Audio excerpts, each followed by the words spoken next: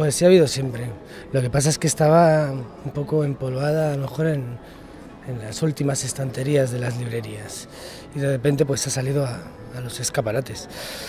Pero que no estuvieran los escaparates no significa que no hubieran, porque yo he leído poesía toda mi vida y a grandísimos poetas que no han tenido quizá esa ese merchandising, esa popularidad que, está, que le ha concedido ahora a los medios, sobre todo las redes sociales, supongo. nosotros no hemos hecho nada, yo lo digo siempre, no tenemos ningún mérito, o sea, hacemos algo que nos gusta y encima nos dan las gracias.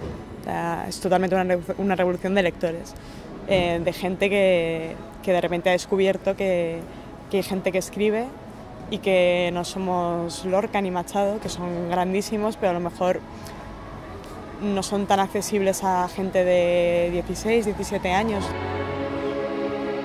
Redes sociales, crowdfunding, blogs, internet en general, la poesía está más viva que nunca. Hoy, en vez, el Club de los Poetas Vivos.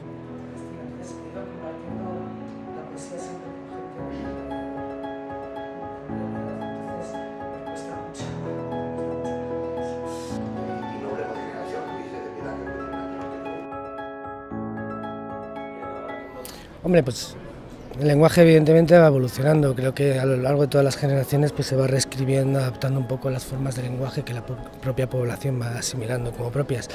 Poesía sencilla ya había antes también, o sea, si la quieren catalogar como sencilla ya la había y poesía compleja se sigue haciendo también hoy.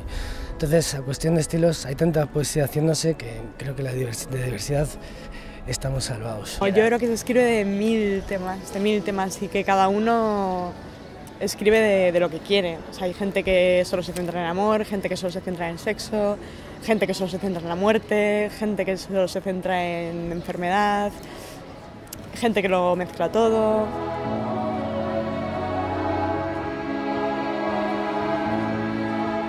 A ver, yo soy muy de Pizarnik, a mí me encanta Pizarnik, pero me inspiro muchísimo en la música, o sea, me inspiro mucho en gente como Kiki González, Andrés Calamaro, Joel López, Nacho Vegas, eh, es que te musicalmente te podría decir a mi persona. La vida, escribo, te digo, yo escribo por lo menos desde la emoción, desde, desde el sentimiento y, me inspiro en, lo que vivo y en lo que me llega, lo, que me afecta. Ten en cuenta que al final es una cuestión de crecimiento, si para escribir una cosa buena tengo que escribir 100 malas, ¿por qué no valen?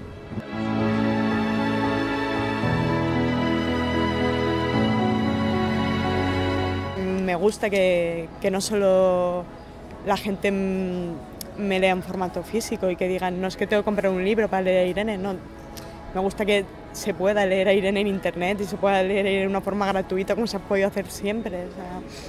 que no sea necesario que la gente tenga mis libros. O sea, si te gusta leerme, no hace falta que te compres mis libros, puedes hacerlo como se ha hecho siempre, que es en las redes y en internet y de forma natural. Yo, lo subo, o sea, yo, yo normalmente lo suelo subir muchos en, internet, tengo en el blog, subo al Facebook, depende lo que me salga, no sé. La verdad es que no tengo ningún método tampoco continuo de publicación ni nada por el estilo. Yo escribo todos los días, escribo a todas horas, eh, la mayoría me lo guardo para mí porque es un ejercicio que necesito hacer, que me gusta, que, que me es imposible, o sea, que constantemente eh, pienso escribiendo, o sea, siempre voy con un cuaderno, con el móvil en la mano, apuntando cosas, estoy pensando en esto, estoy pensando en lo otro. Yo sé que en todas las, muchas ciudades se está haciendo, se están dando espacios, digamos trincheras, en las que la gente pues va a compartir esa afición, pero que está guay, ¿no? Es como quitarse el miedo y la vergüenza que podría haber, ¿no? a decir en voz alta que te gustaba la poesía.